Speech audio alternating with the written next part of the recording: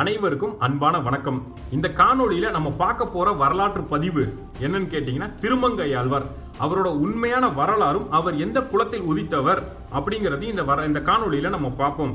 அதாவது காவிரி வளமுடைய திருவாளி நாடு அப்படிங்கிற நாட்டில் திருக்குறையலூர் அப்படிங்கிற ஊரில் கிபி ஏழாம் நூற்றாண்டு திருமங்கையாழ்வார் பிறந்திருக்காரு. இவரோட இயற்பெயர் அதாவது சின்ன வயசுலேயே இவரோட பெயர் நீலன் அப்படின்னு தான் வச்சிருக்காங்க. இவரோட அப்பா யாருன்னா ஆளிநாடன் அம்மா பேர் வள்ளித்திரு.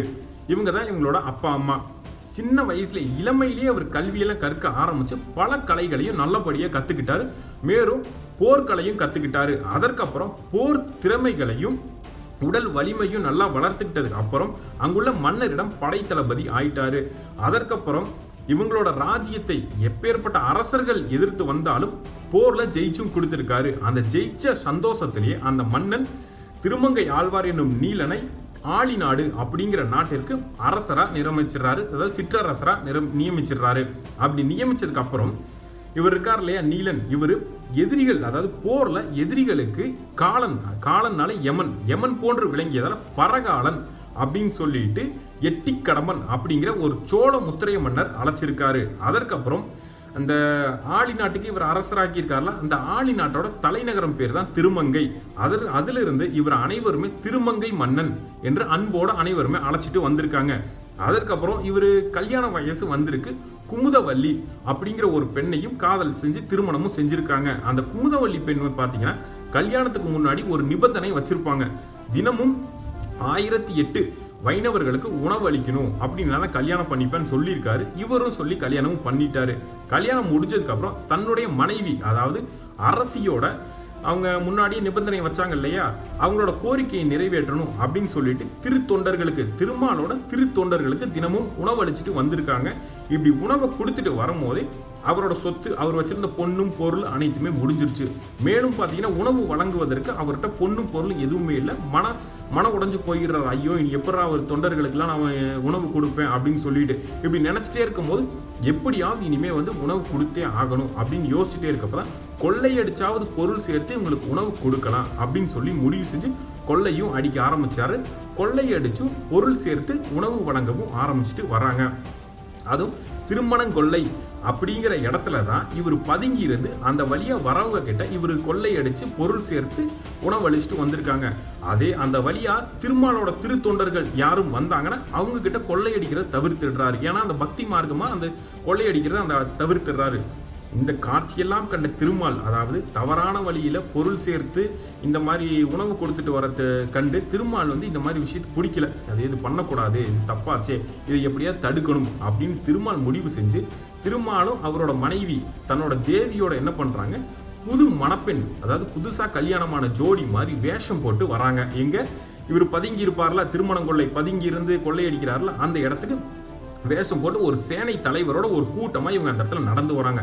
இவங்களை பார்த்ததும் திருமங்கை மன்னன் என்ன பண்ணியிருக்காருன்னா பாஞ்சு குறுக்கு நிப்பாட்டி நீங்க போட்டிருந்த நகை அணிகளை அனைத்துமே கலட்டி கொடுத்துருங்க. அப்படி கொடுக்கலன்னா என்னோட கோவத்துக்கு நீங்க இரையாயிடுவீங்க அப்படின்னு சொல்லவும் அவங்களும் தேவியாரும் சுற்றி வந்து கொண்டு வந்திருந்த அனைத்து நகைகளுமே கொண்டு வந்து கொ- எடுத்து கொடுத்துட்றாங்க.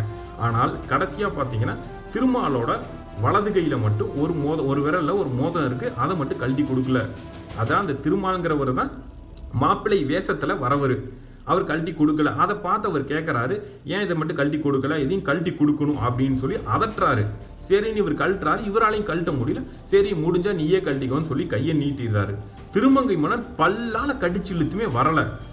அந்த கையில் இருக்க மோதிரமும் கழட்ட முடியல. அதற்கப்புறம் திருமால் மாப்பிள்ளையாகிய திருமால் சொல்றாரு நம் கலியனோ அப்படின்னு சொல்லி அவர்கிட்ட சொல்றாரு. அதற்கப்புறம் என்ன பண்ணுறாரு திருமங்கை மன்னன்?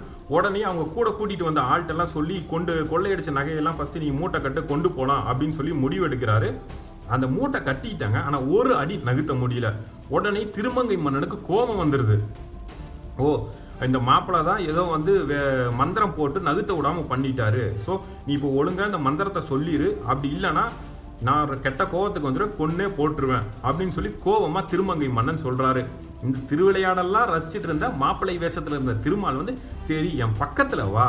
நான் உங்ககிட்ட சொல்கிறேன் அப்படின்னு சொல்கிறாரு இவரும் அவர் பக்கத்தில் போனது போனதுக்கப்புறம் அவர் சொல்கிறாரு எம்பெருமானாகிய இறைவன் அவரது காதில் ஓம் நமோ நாராயணா என்ற திருமந்திரமான திருவெட்டெழுத்தை உபதேசித்தார்.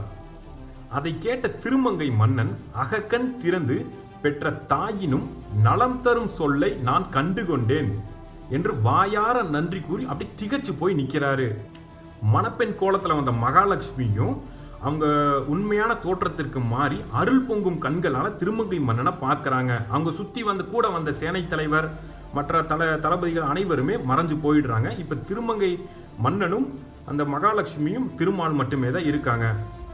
இந்த நிகழ்ச்சியை தான் வேடுபரி நிகழ்ச்சியாக தமிழகம் முழுதும் சந்தோஷமாக நடத்திட்டு வராங்க. அதற்கப்புறம் என்ன நடந்திருக்குன்னா திருமங்கை ஆழ்வார் உள்ளத்தில் தெளிவு பிறந்து உள்ளம் உள்ளம் மகிழ்ந்து பேரொளி எழுந்து அதுக்கப்புறம் திருமாலை நோக்கி பாசுரங்களை பாட ஆரம்பிச்சிருக்காரு. வாடினேன் வாடினேன் மனதால் பெரும் துயர் இடம்பயிர் பிறந்து கூடினேன். கூடி இளையவர் தம்மோடு அவர் தரும் கலவியை கருதி ஓடினேன். உயவதோர் பொருளால் உணர்வெனும் பெருமிதம் தெரிந்து நாடினேன். நாடி நான் கண்டுகொண்டேன் நாராயணா என்னும் திருநாமம். இப்படியே பத்து பாசுரங்கள்ல அவர் பாடுறாரு.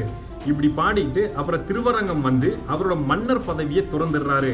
அதற்கப்புறம் திருமாலை நோக்கி பாடி திருமங்கை ஆழ்வார் ஆகிறாரு. இதுதான் திருமங்கை ஆழ்வார் எப்படி நீலன் அதாவது ஒரு நீலன் எப்படி திருமங்கை ஆழ்வார் ஆனாருங்கிறதுக்கு உண்டான வரலாறு. இந்த காணொளி பார்த்தீங்கன்னா சென்ற வருடம் அதாவது இப்போ முடிஞ்சு போன வருஷத்தோட வேடுபரி திருவிழா. அப்போ வந்து அரசர் மீடியா சேனலை சேர்ந்த இளையராஜா அங்கே போயிருந்தார். அவர் எடுத்துகிட்டு வந்த வீடியோ தான் இது. அது அங்கே இருக்கிறாங்க பார்த்தீங்களா அந்த குழந்தைங்க? அவங்க தான் முத்துராஜா குலத்தில் அதாவது பெரியனன் முத்துராஜா வகையரா அவங்களோட கடைசி இப்போ உள்ள கடைசி வாரிசு. இன்னும் நாளைய போர் அடுத்த வருடம் அதற்கடுத்த வருடம் இன்னும் வருங்காலமெல்லாம் பார்த்தீங்கன்னா இவங்களோட வாரிசு அடுத்தடுத்த வாரிசு வருடாந்தோறும் திருமங்கை ஆழ்வார் போல வேடமிட்டு வேடுபரி திருவிழா நடத்துவாங்க. அடுத்த வீடியோ தான். இதுதான். உள்ளே வந்ததுக்கப்புறம் அவங்க பெரியன் முத்துராஜா வகைரா இருக்காங்க இல்லையா? அந்த வம்சத்திலேருந்து வந்ததுக்கப்புறம் அந்த கோவிலில் அறங்காவலர்கிட்ட என்ன சொல்கிறாங்க அதாவது காவக்கார வம்சத்திற்கு உத்தரவிட்டதுபடி இவங்க அதை கண்டுபிடிச்சி கொண்டு வந்ததுக்கப்புறம் அங்கே நடக்கக்கூடிய அந்த வேடுபரி நிகழ்ச்சி என்ன? அப்படிங்கிறது தான் இந்த வீடியோவில் இருக்கும். திருமங்கை ஆழ்வார் பார்த்தீங்கன்னா அவர் பிறந்தது முத்துராஜ குலம் அதன் காரணமாகவே திருமங்கை ஆழ்வார் அவர்கள் ஆயிரம் கால் மண்டபம் கட்டினாங்களே அந்த மண்டபத்துக்கு தான் பிறந்த குலத்தின் பெயரை வச்சு முத்தரசன் குரடு அப்படின்னு தான் வச்சு அழைச்சிருக்காரு. அந்த பேர் தான் அப்படி தான் சூட்டியிருக்காரு. இவ்வளவு நேரம் பார்த்தீங்கன்னா திருமங்கை ஆழ்வார்களோட வரலாறும் அவரோட பாசுரங்கள் அதற்கப்புறம் பார்த்தீங்கன்னா யாரெல்லாம் முதல் மரியாதை வாங்குறாங்க யாருக்கு உரிமை உண்டு யாரவரெல்லாம் பாத்தியப்பட்டவர்கள் அவர்களோட வம்சாவளியினவர்கள் அவர்கள் எல்லாமே நம்ம ரொம்ப தெளிவாக பார்த்தோம்.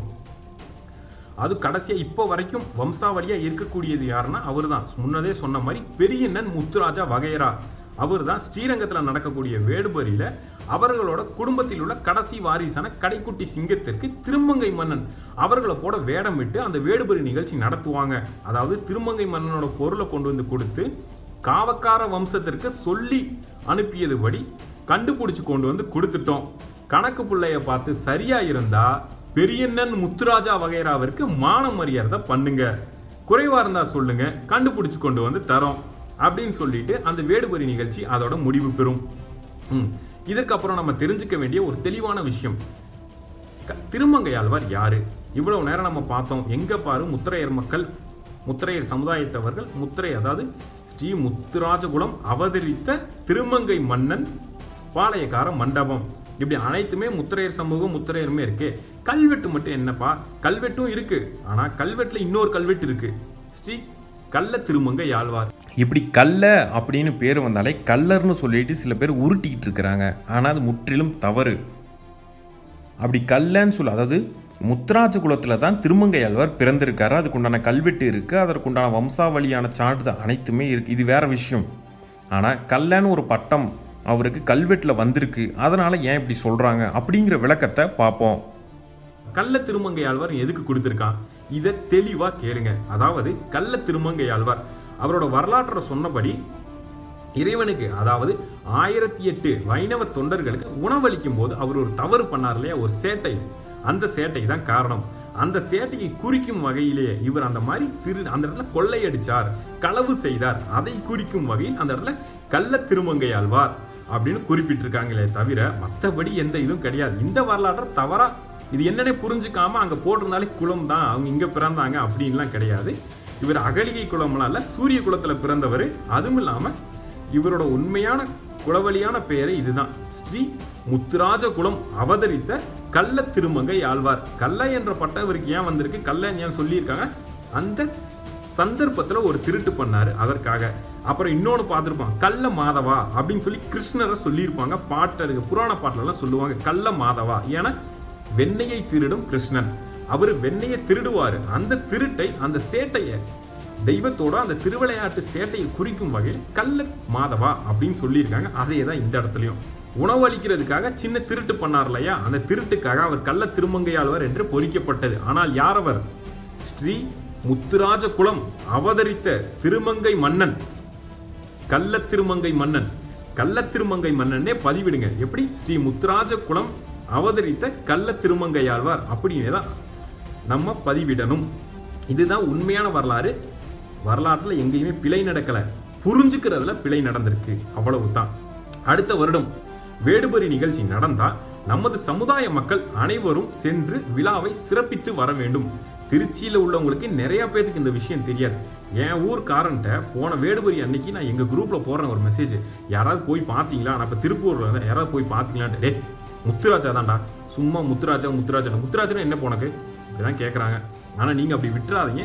இப்படிலாம் விடுறனால தான் சில பிழைகளுக்கு அப்பப்போ நம்ம பதில் கொடுக்க வேண்டிய சூழ்நிலை ஏற்படும். அதனால் நீங்கள் எங்கெங்கெல்லாம் போகணுமோ அந்த இடத்துக்கு கட்டாயமாக போயே தீரணும். அடுத்த வேடுபரி நிகழ்ச்சிக்கு போங்க. சந்தோஷமா அந்த வேடுபரி நிகழ்ச்சியை கண்டு கொண்டு வாங்க.